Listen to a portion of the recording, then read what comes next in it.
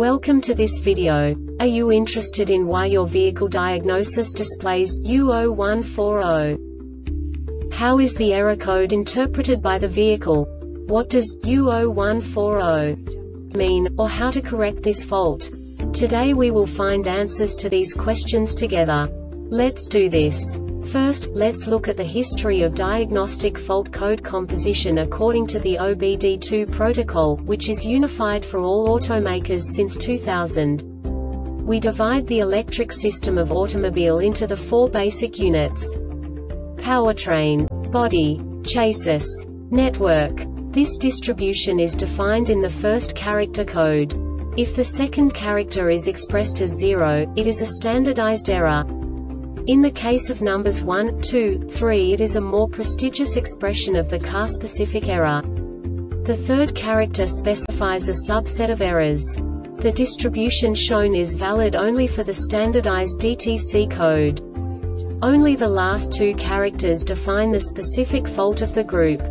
Let's not forget that such a division is valid only if the other character code is expressed by the number 0. Our website airbagreset.sk produces useful videos for you. You do not have to go through the OBD2 protocol anymore to know how to troubleshoot any car breakdown. You will find all the diagnostic codes that can be diagnosed in a Toyota vehicles. Also many other useful things. The following demonstration will help you look into the world of software for car control units. You unbelievably can move the video a bit further. The error code is split into two bytes consisting of 16 bits. One bit is the basic unit that each computer works with. The bit has two logical states. 0, low level, 1, high level. By combining the first two bits, the basic character of the error code is expressed. The next two bits again determine the second character. The last bit styles of the first byte define the third character of the code. The second byte is composed of a combination of 8 bits. The first 4 bits determine the fourth character of the code. And the combination of the last 4 bits defines the fifth character.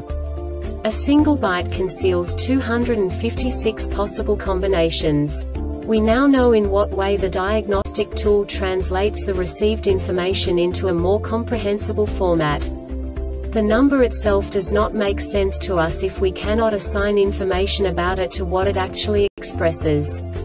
So, what does the diagnostic trouble code U0140 interpret specifically Toyota car manufacturers? The basic definition is Intake manifold tuning valve stuck closed bank 1. And now this is a short description of this DTC code. This DTC sets when the signal is greater or less than an expected calibrated range during self-test. This diagnostic error occurs most often in these cases.